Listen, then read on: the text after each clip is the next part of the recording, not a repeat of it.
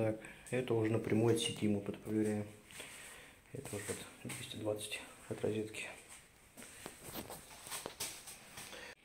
Так, сравниваем. Это у нас работает через земление.